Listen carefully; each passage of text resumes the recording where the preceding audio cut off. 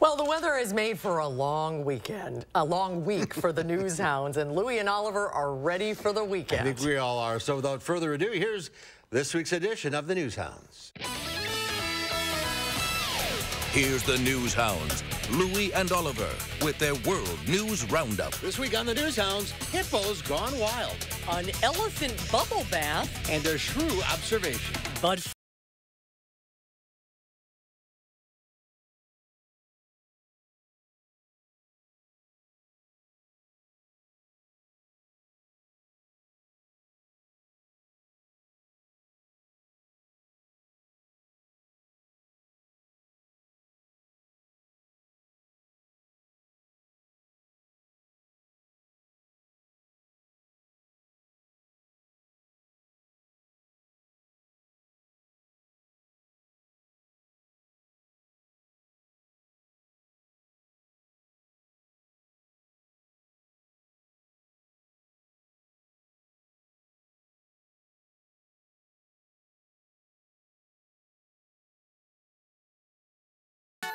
Speaking of very special, the Vienna Zoo announced the birth of two round-eared elephant shrews.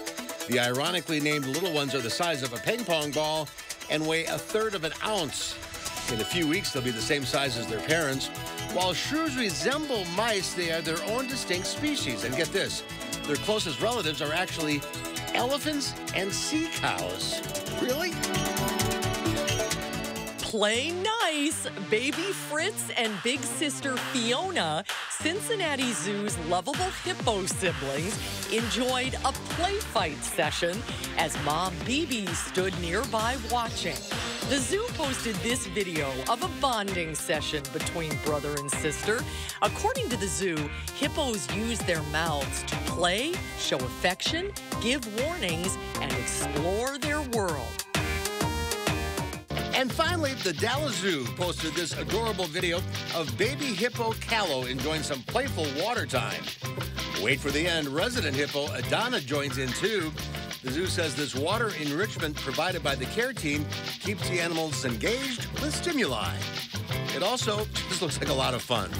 And that's this week's edition of the News Hounds Now Update.